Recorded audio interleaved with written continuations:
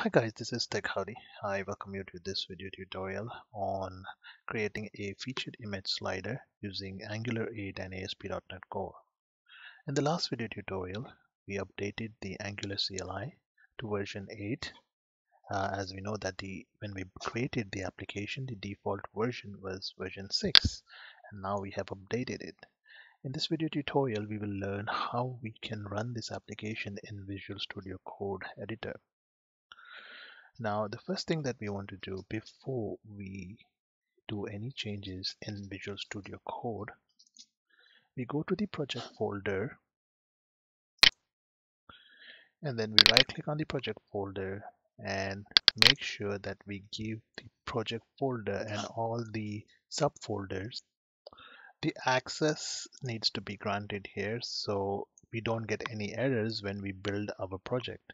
So make sure that if you're on a Mac, you give your folders uh, and all the subfolders inside your project folder access to read and write. So I've given the users read and write options, but you have to click on this lock option, unlock it, and then make sure that you assign read and write options to different users that you want to who are going to access this folder and also make sure that you click and apply these to all enclosed items. So are you sure you want to apply this? Click ok. So once you click this all these settings will be applied to all the subfolders and files in this particular folder. So we don't have to individually do it on each folder. Once this is done we can close this log and we can close our get info window. Next thing, going back to Visual Studio Code, go to the add-on section, your extension section.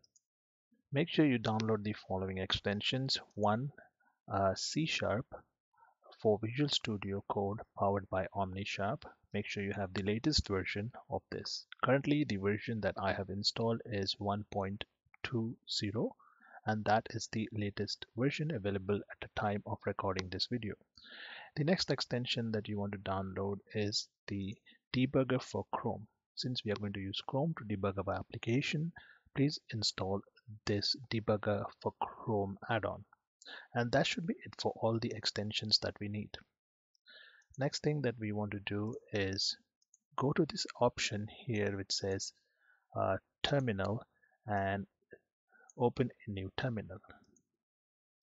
Now before we build this application, we need to update the SDK in which we are going to create this application. So to update the SDK,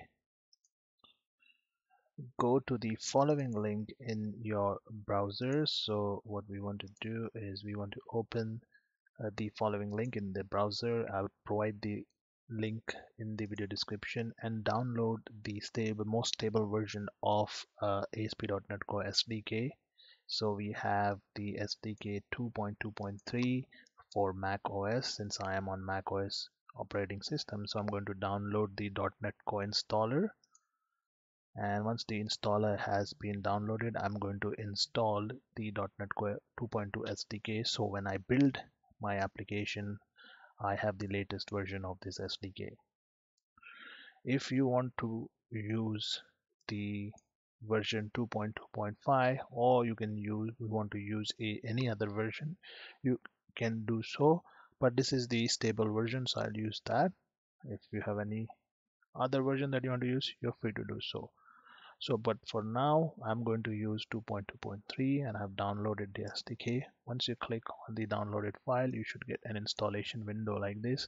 Make sure you hit continue and install the SDK once you have installed the SDK you can check the version of SDK that is installed by dot .NET dash dash version and you should get 2.2.3 in the integrated terminal of Visual Studio Code. Now the next thing that we want to do is build our application since we have updated the Angular applications version and also our SDK. We want to make sure we don't have any errors. So let's run the command .NET build. So what we want to do is sudo .NET build enter our password and now the integrated terminal will run certain commands and compile the code and our build is succeeded. There were no errors. Now we can run our application by typing the following command which is dot .NET run and once we enter this command we will see the application load in our browser uh, since we have a link over here which says http localhost we can copy this go to our browser and paste this and hit enter. And our application should load because our server is now running. We have the we have run the following command so our server is running uh, on port 5001 so our application is live and we can see uh, that the angular application is working fine. But we don't want to run uh, type the command always .NET run. So we want Visual Studio Code to be running the application like Visual Studio Code IDE so what we want to do is first thing command C to stop the server then go to debug hit start debugging now it's going to ask you to select an environment. I'm going to select the .NET Core environment. And once I select that you will see that there is some code added and a launch.json file created and a task.json file created as well. So you see that it has added some bunch of code that is needed for us to launch this particular application in the browser.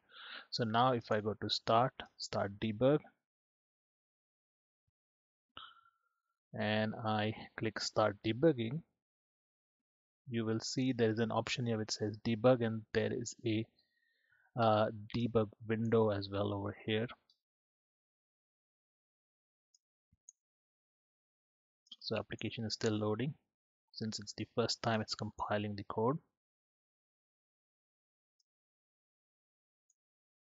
so now our application is running. So we didn't have to type the command. We could we can just hit debug and start debugging. Make sure if your application doesn't run here in the drop down you have the following option which is web selected instead of attach. So you want .NET Core launch web instead of the attach option and then run the application. So it should run in the browser. Now to check if our debugger is working and we can hit all debugging breakpoints. What we want to do is go to our file section and then go to the sample data controller. Here I have created a test method and I have also have some method that was created. This is a sample controller that was created when we built or created this application in ASP.NET Core so by default it was created for us. Now to test this method you can set a breakpoint on both these methods uh, or you can just set a breakpoint on this method since you might not have the test method so you, you can set a breakpoint here and to call the method we need to call this class by using the API forward slash controller URL. So I'll show you. So in your browser, so what you're going to do is forward slash API forward slash uh, the controller's name, which is sample data, and then the action method name, which is weather forecast, weather forecasts. So the action method name is weather forecast, and then you can hit enter. And once you hit enter the breakpoint will be hit. And you see that the code has stopped processing. And unless you hit the step over or the continue button here the process will not go further so if I hit the step over button it goes to the next line and if I have to just hit the continue button the method should execute and I should get the result of the query now let's call the other method here, which is weather forecast test. And once again, the result, what I should see on my browser is the string test. So let's continue this. Go to my browser and I see test.